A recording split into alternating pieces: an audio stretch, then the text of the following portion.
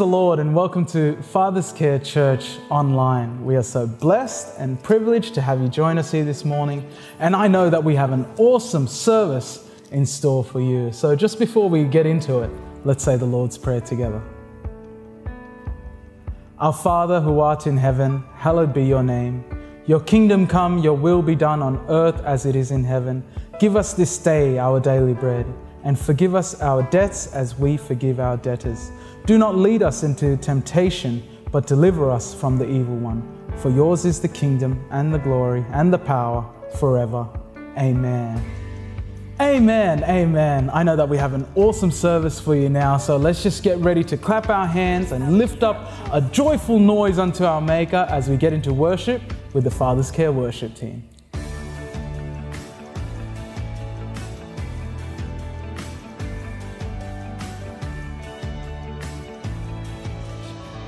Good morning, church. How are we today? God is good. God is good. All the time, God is good. Everyone's all dressed up. It's almost as if someone's birthday today. Let us not forget the reason why we're here, church, and let us sing and praise the Lord. Amen. Saved by grace. Yes, Lord. We are saved by your grace. Yes, Lord.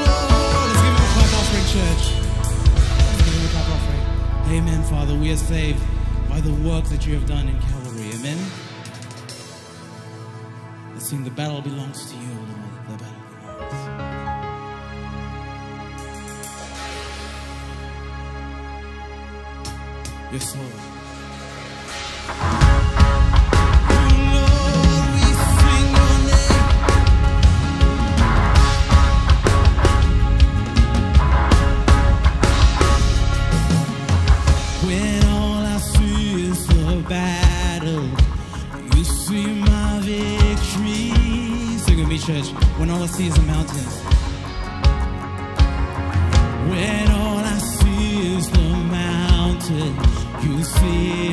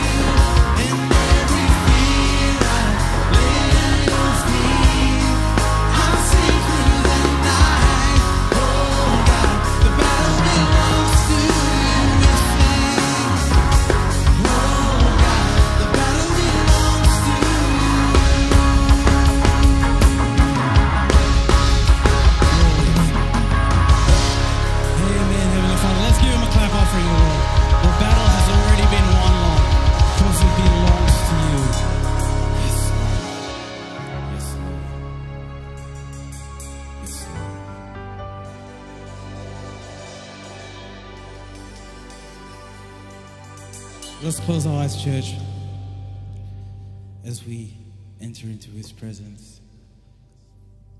I call upon your Holy Spirit, Father God. I call upon your Holy Spirit, Lord. Come, Holy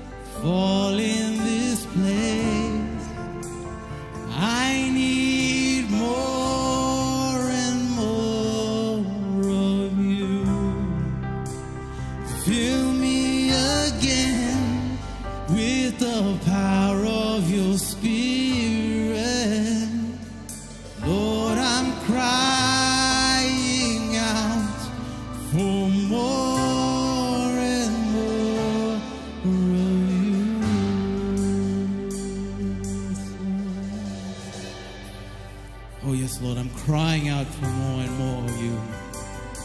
Because you, Heavenly Father, are my cornerstone. You are the stone that the builders have rejected, O Lord. But you form the basis and the foundation of my life. Church, if you believe these words, cry out to Him, O Lord. Hallelujah, Lord. Hallelujah, Lord. Lord, worship you. Cry out, church. Lord, we sing your praise. Abba, Father, your people, they're yearning. They're yearning for you, Lord. For you are our cornerstone. Amen. Yes, Lord.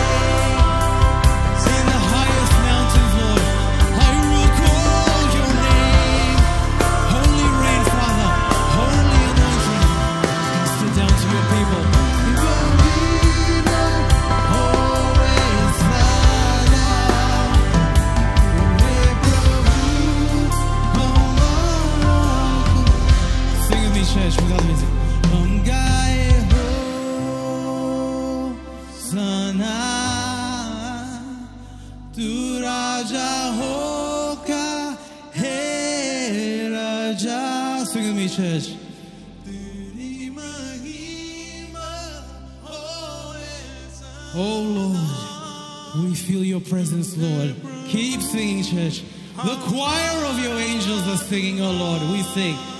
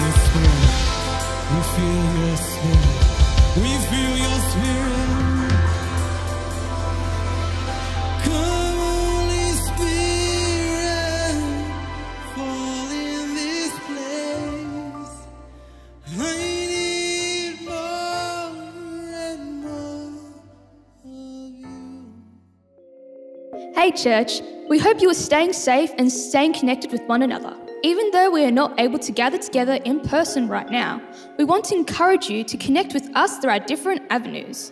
If you have any prayer requests or in need of a person to talk to, simply contact us using the details on the screen to get in touch. We encourage you to continue your generosity and giving what belongs to the Lord. On the screen are our online account details which you can use to tithe. Now, let's prepare our hearts for the word and what the Lord has in store for us today. What a way to begin with the word. Only Jesus. Once again, a very warm welcome to you, church, and to those who have joined us online. We welcome you this morning. We're going to get right into the word, and with one voice, one heart, we're going to read the word of God together as we honor the reading by standing. And those of you who are watching us online, you can do the same. You can read loud and clear, stand up wherever you are as we honor the word of God. So, shall we begin? My son, give attention to my words. Incline your ear to my sayings. Do not let them depart from your eyes. Keep them in the midst of your heart, for they are life to those who find them and health to all their flesh. Keep your heart with all diligence, for out of it springs the issues of life. Put away from you a deceitful mouth and put perverse lips far from you. Let your eyes look straight ahead and your eyelids look right before you. Ponder the path of your feet and let all your ways be established. Do not turn to the right or the left. Remove your foot from evil. Let's pray. Father, we love you, we honor you. Lord, as your word is coming before your precious people, let it indeed be my mouth, but your words. Let your anointing flow in this place, uncompromised, unhindered. Let minds be renewed, lives be transformed, the body of Christ edified, and the name of Jesus glorified. I also pray this morning, Lord, especially, Lord, for a miraculous intervention in your people's life. As the word comes, I pray for divine intervention. We give you praises, honor, and glory, Lord. Have your way in Jesus' name. And everybody said, Amen, amen, amen. You may be seated in the presence of God. So, we have been looking into the series called Guard Your Heart. And today we are on the second last part, part four, and next week we will be concluding this series. And so, just for the benefit of those who have missed, I'm just going to spend a couple of minutes to recap. The last that we saw was how to read, how to guard your heart. You know, heart is the most innermost part of our being. That's the center of our being. And the Bible says that guard your heart, keep your heart with all diligence, for out of it flows the issues of life. That means everything begins in the heart. It's a source, it's a place where things flow out of that will determine the direction of your life. Amen. And so, one of the things I shared with you was how to guard your heart was to begin by guarding your mind. And we looked into Romans 12 2, where Paul said, Do not be conformed to this world, but be transformed by the renewing of your mind. Why? So that you may prove what is that? Good, perfect and acceptable will of God. Amen? Because that's, that's His will. And His will for you is good, it's acceptable, and it's perfect. And so I know all of us, I'd like to meet you if you say no to this. All of us want some sort of transformation in our life. Right? If somebody doesn't want to change in any area, man, I'd love to meet you after this service. We all are praying for some kind of changes. We all desire some kind of changes. And here, Paul is telling us that nothing will change until and unless our thinking changes. So, the area that you want to bring changes in, we better start renewing our mind to the Word of God about that particular area. Come on. Amen. That's what Paul is saying. Because when you align your mind to the Word of God, to the thoughts of God about that particular situation or area, then you will begin to experience what is that good, perfect, and acceptable will of God. His word in your life. And so everything begins with our thinking. So if you want to guard your heart, you've got to guard your mind. Amen. And because we've got to be vigilant, because it is an year of, year of being prayerful, being watchful, and being thankful. One more time, it's a year of being We're hitting the half year mark, church. right? We better get this in our spirit that it is the year of being prayerful, watchful, and thankful. And we've got to be vigilant that we are not giving our mind, Bible says to Colossians 2 and verse 8, beware lest anyone cheat you through philosophy and empty deceit according to the tradition of man, according to the basic principles of the world, and not according to Christ. Tradition and legalism and philosophy and empty talk can deviate us from the Word of God. Amen. So we've got to have our mindset that is aligned with the Word of God, and we studied that how the mind is the battlefield, where we've got to bring every thought into captivity to the obedience of Christ. And as you do, remember you are protecting your heart. Because that thought will sooner or later drop down in your heart as a belief. That's where it starts. That's where it starts. So you've got to protect your mind to protect your heart. Amen? So if it doesn't match, the thought that comes, if it doesn't match, we've got to reject it. Amen. And so we studied also how to renew our mind. You know, in the process of renewal of our mind, repentance takes place. Okay, repentance means change your thinking, change your mind. Amen. And I prayed this morning as I was worshiping that, Lord, you know, uh, if people were going in this left, let your word today bring them to the right. You know, let repentance take place as the word is coming. Maybe you were dealing it in a particular way, but may this word set you in the divine direction. Amen. That repentance, a change of mind, change of thinking that will cause you to be on the divine direction that God wants you to be in. Amen. And Jesus came preaching this word, repent. He said, Repent, for the kingdom of God is here. Why? Because there was now a new way of doing life. He came to show us that life. Amen. And so we studied then how to renew your mind, a good place to start. Who can remember? Read the word.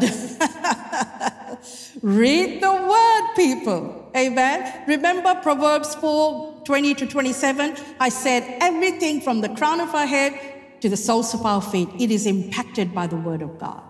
The eyes, the ears, the mind, the heart, ultimately, the feet represents the steps, the action, the direction you're going to take. And it begins with our mind.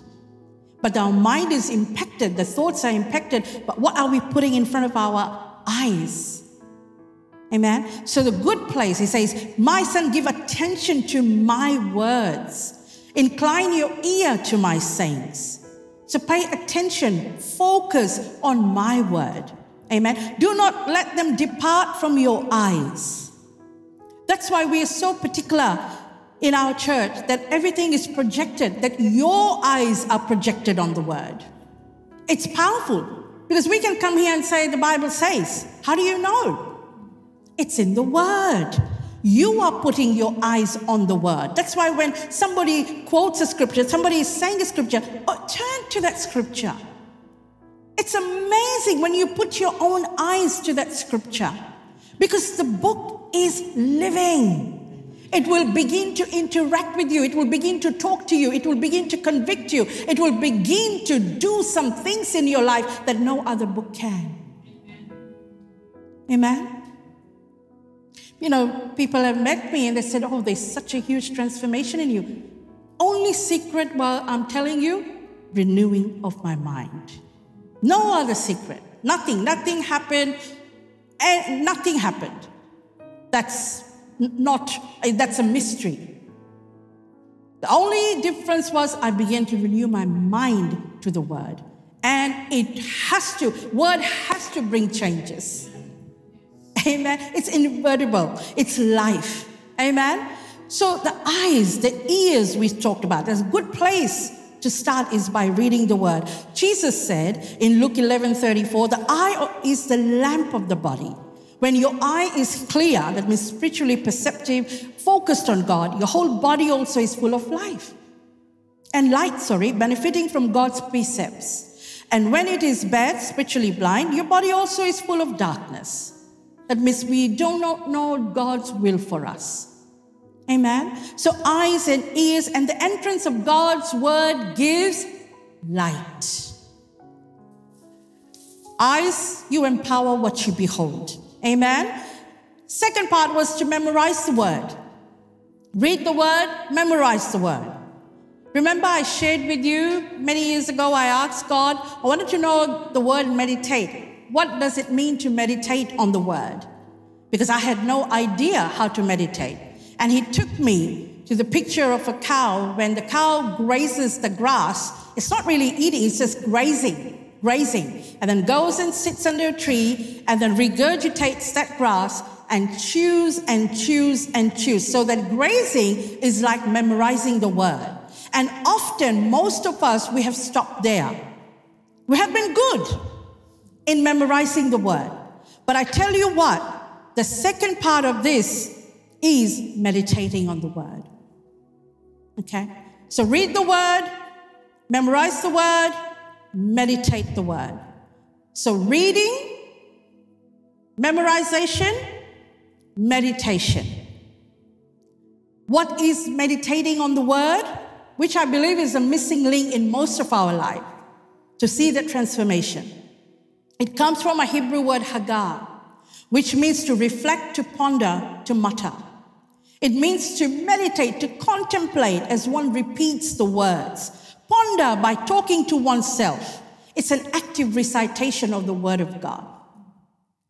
And can I tell you the good news? We all have the power, the potential to do it because we are all pondering and muttering to ourselves about something. Come on. When we say meditate on the word, we kind of all fluster about a bit and think we can't do it. But let me tell you, you are already meditating. You're already thinking about something deeply, pondering about it, talking about it, muttering about it, reciting about it, 101 times a day, even more times a day, from the dawn to dusk. You are meditating. It's just sadly, we are meditating mostly on the negative. What she said and what they said and what did they do and how hurt I am. We are muttering and muttering and muttering. No wonder we feel depressed by the end of the day. Amen. Are we getting this? So understand to guard your heart, you've got to mind your mind. And so reading the word, I'm telling you the process of renewing your mind. So you're reading the word and then memorization and then meditation because meditation will lead you to revelation and that revelation will cause transformation.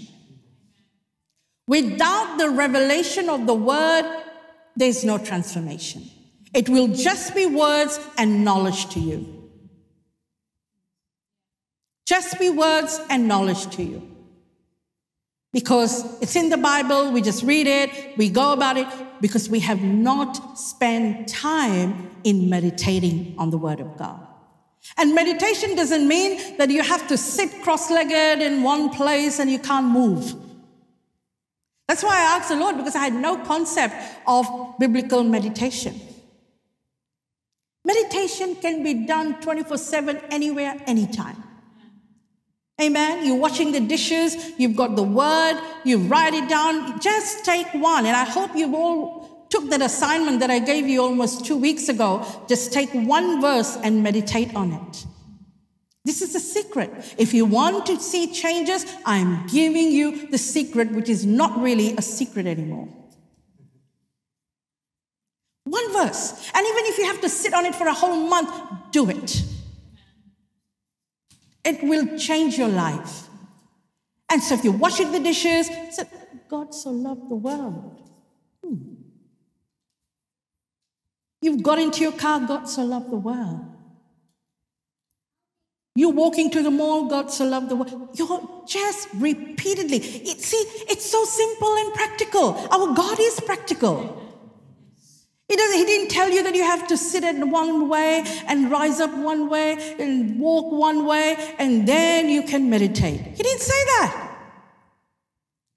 That's the beauty about having a relationship and not religion. Amen. Religion is sit this way, do this way, can't go here, got to have a shower, and you can't do this at this certain time of the year. By the end of the day, you're like, might as well not do it. because I don't even feel worthy to come in the presence of Lord. Let all the holy people go instead. I'll just be in the outer circle. but thank God for what Jesus did.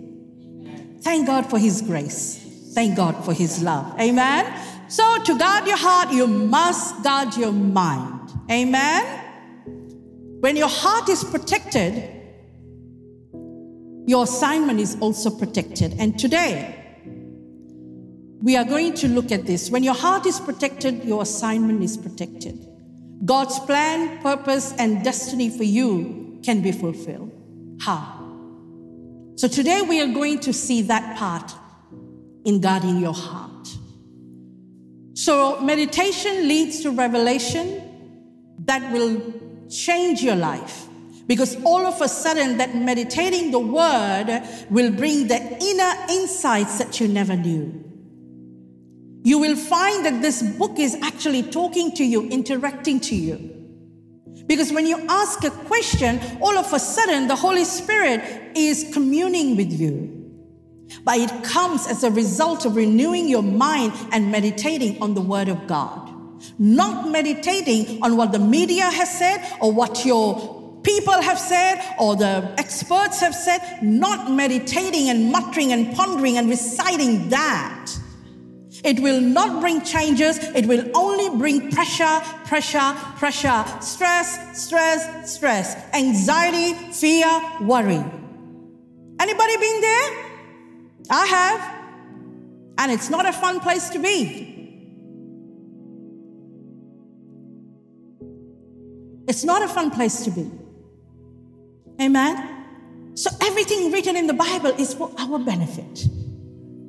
And today I want to show you that guarding your heart is to guard, I mean, to guard your mind, you're guarding your heart.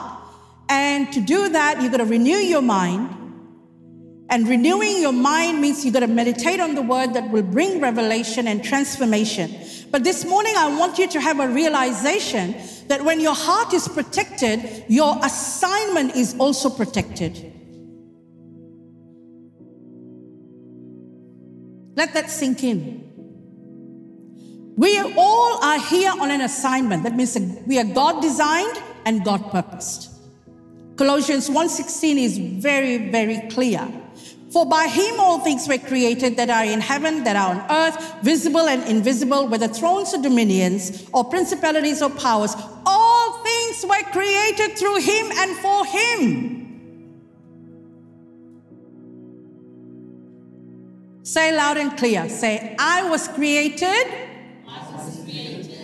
through him, and for him. One more time, and even those who have joined us online. I was created, through him, and for him.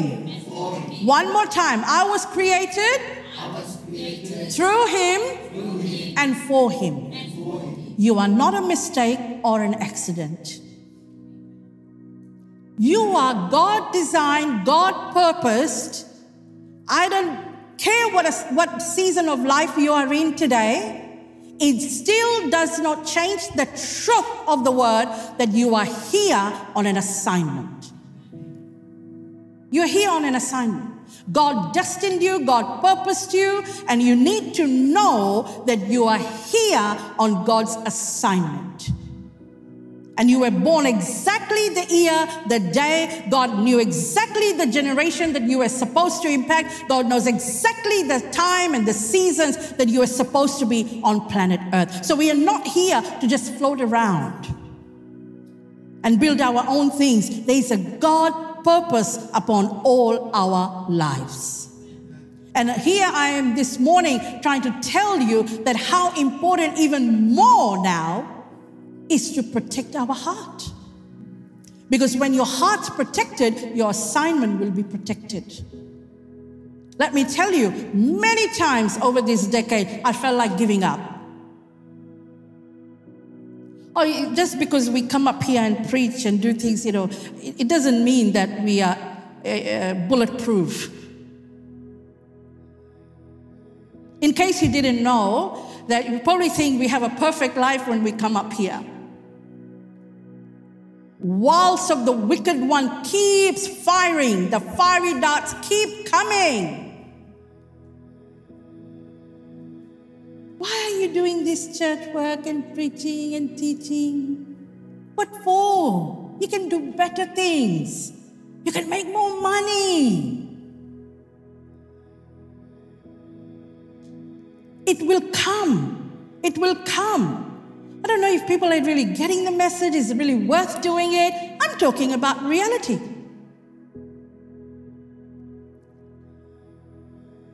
That's a reality. We all go through it. And to the, to the point, sometimes we're just on the verge of throwing in the towel. But thank God for His grace. Thank God for the Word. Thank God for the Holy Spirit who will pick you remind you because of the word that you've been meditating on. That all things were created for him and through him, Rekha. You are not your own. Oh, okay, I get it. Okay, okay, okay. Let me get out of me, me, myself, and I, my flesh. Shut up. You're not your own, you're God's. Okay, calm down. Let the me decrease and him increase come back to the Word.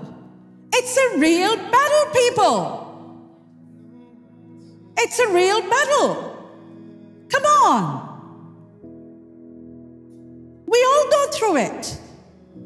But I'm telling you here again and again only one thing will protect us that is the Word of God. Without that, in a flesh, I can get up and go and do whatever I want to do my flesh wants to do. That's why John the Baptist prayed, Let me decrease and you increase, God. I always pray, Let Lord help me to get out of the way. Lord, today, as I'm preaching, help me that me doesn't get in the way to what you want to say to your people.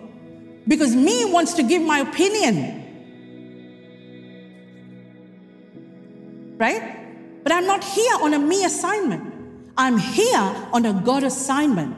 And so I've got to see you through His lenses, not mine. Come on. Amen. If you get this, you will protect your heart and mind. Your assignment will be protected. It's so important, so important because you all have a destiny. You all have a purpose. Time and time again, you will hear from our senior pastor, Pastor George, myself, the leaders, encouraging each one of you that now you can do this. You've got this in you. You've got this talent in you because it's the truth. We were not here just to attend church every Sunday and just and then go back the same way. There's a village waiting for you. There's a community waiting for you. There's a city waiting for you. There are nations waiting for you. You believe that? You believe that? Say amen. There are nations waiting for you. Hallelujah. We are here to fulfill the greatest, the great commission. The great commission that Jesus gave. And he gave to his church. He gave to his children. He gave to his disciples, not to the pastors and the leaders. It may look different to how you've been uh, anointed in your task, but you've all been assigned to this great commission. But our giftings may differ, the Bible says.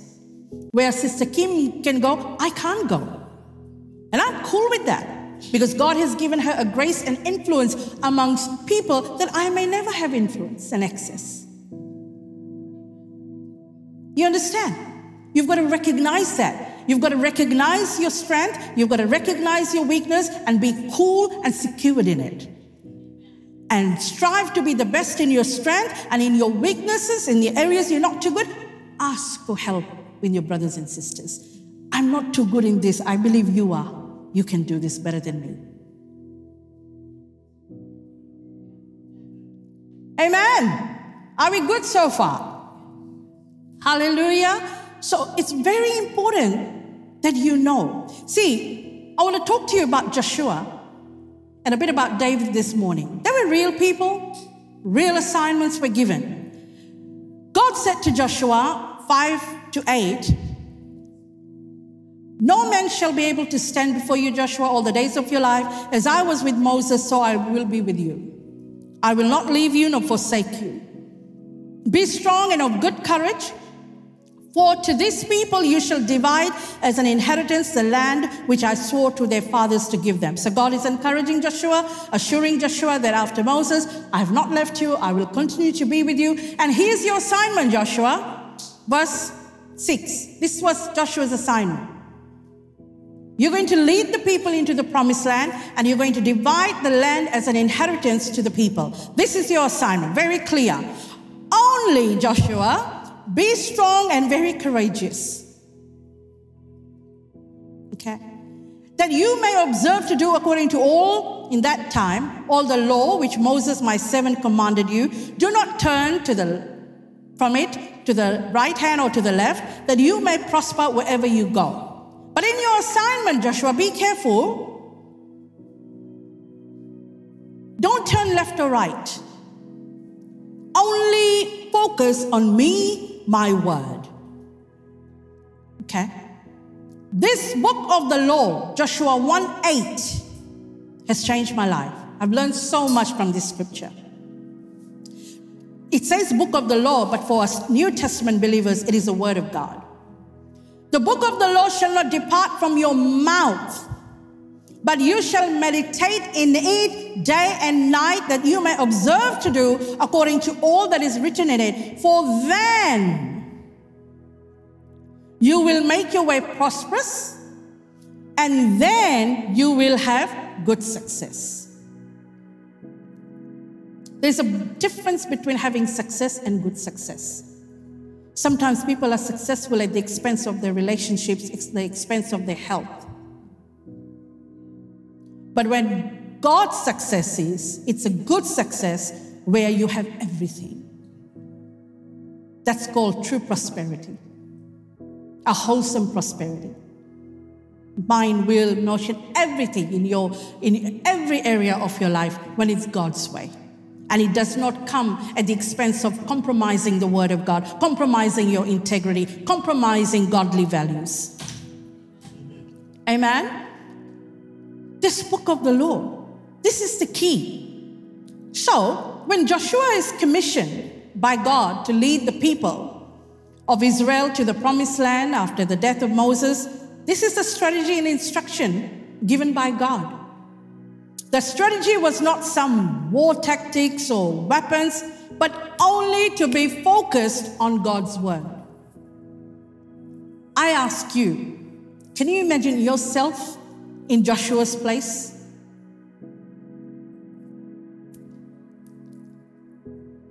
And God is whispering to you, calling you into an assignment, and you've been given a huge responsibility. But to fulfill this God given assignment in your life, He's saying to you, only be focused on the Word of God. So just spend a few seconds, even those who joined online, think about it. God is giving you an assignment. He's saying, don't focus on anything else. What money you have, what resources you have, what connections you have, what education you have, what I don't have this, I don't have that. I know because when God called me, I was trying to nullify the calling. I haven't done a degree, I haven't done this, I haven't done that. Who will listen to me? We try and disqualify ourselves. I'm sure Joshua would have felt so overwhelmed that, my God, Moses is not here, and who's going to listen to me? How am I supposed to lead these people? But here is God's word, not only to Joshua, but to all of us. God given assignment, you only need God's word. And that word will bring the resources that is connected to your assignment. It's up to you. Because that's the strategy Joshua was given. That word will quicken, that word will bring those divine people, resources, connections, influence, whatever is needed to fulfill your assignment. Amen? So, God's encouragement and hint to Joshua, because I believe with all my heart that God is bringing the next dimension, elevation, calling, and dispensing some assignment in all of our lives. I, I believe that with all my heart. And so, this, if you sense that, this message is for you. That how are you going to accomplish your assignment, which is you guard your heart because it will guard your assignment. If you very, very important. Guard your heart because enemy doesn't like us being called to God's field. He will bring so many distractions that will pollute and corrupt our heart and try to move us away from our assignment, God given assignment. So, Joshua 1 9 God said, Have I not commanded you? Be strong and of good courage. Do not be afraid and nor be dismayed, for the Lord your God is with you wherever you go. You know why? In a way, if you read in between the lines, see, this is what happens when you meditate on the word. In between the lines, God was actually hinting to Joshua the four hints he was given that Joshua, as soon as I put you on this assignment, let me tell you, my son, these four things will attack the assignment. He said, Be strong. That means you will feel weak at times. He said, Be of good courage. That means, Joshua, there'll be times that you will feel very discouraged. Instead of having courage, you'll be discouraged. If people are on an assignment in here and if you felt that, say amen. Amen. Hey, Joshua, do not be afraid. Why? Because there'll be times fear will attack your heart and mind. And Joshua, do not be dismayed. You know why? Because God knew that there'll be times uh, that you'll have anxiety and distress and concern, you'll be upset. No wonder God repeats this. I mean, if God keeps saying, be strong and of courage four times, I'll, that itself will make me to think about why God keeps saying that. Four times in the scriptures, God is telling Joshua, be strong and of good courage. It will take strength and courage to fulfill God's assignment or purpose in our life. Strong. It comes from a Hebrew word chazak, means be strong, courageous, valiant, manly, strengthened, established, firm, fortified, mighty. Generally, strong or strengthened re- defines chazak, but there is a wide range of meaning for this word. For example, in 1 Samuel 30, verse 6, you know, when David loses everything, and the Bible says that when David encouraged himself in the Lord, what it actually literally means is that he strengthened himself in the Lord, in his word. He made himself strong again, courageous again, valiant again, mighty again, because he found himself to be in that place of distress, in that place of discouragement, in that place of weakness. Because everybody, enemies had come, taken everything away from him, and his own people turned against him. But he was on an assignment. He was on an assignment. And the Bible says he encouraged himself in the Lord. Many a times in this journey of doing your assignment on purpose, there'll be people who you relied on will leave you.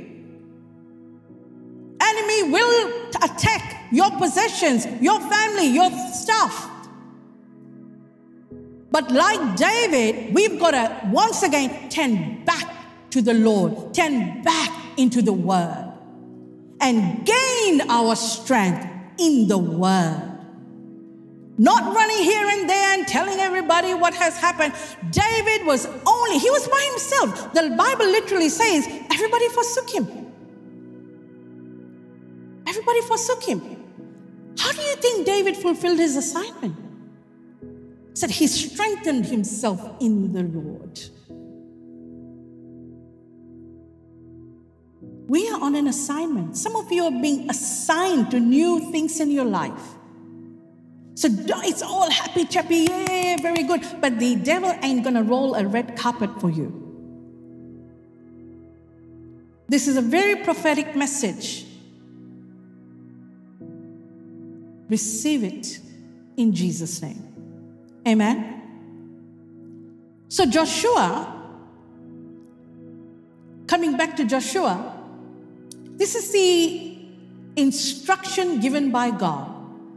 Joshua, if you want to be prosperous and have good success in your assignment, this is what you're going to do. And if you read the book of Joshua, every instruction, no matter how silly, how foolish it sounded, Joshua did it. And that's why Joshua 21, verses 43 to 45 says So the Lord gave to Israel all the land of which he had sworn to give to their fathers, and they took possession of it and dwelt in it. They took possession of the land that was theirs. The Lord gave them rest all around according to all that He had sworn to their fathers, and not a man of all their enemies stood against them. And the Lord delivered all their enemies into their hand. All the Amorites, the Jebusites, the Canaanites, and all the ites that were there couldn't steal the inheritance that was rightfully God, uh, God's belonged to God's children. Amen. Your rightful inheritance should come to you. And the key is meditating on the Word of God. Not a word failed of any good thing which the Lord had spoken to the house of Israel. All came to pass, Joshua said. Joshua said, Behold, this day I am going the way of all the earth. This is his final farewell speech to his people. He says, I'm about to go to be with God. And you know in all your hearts and in all your souls that not one thing has failed of all the good things which the Lord your God spoke concerning you.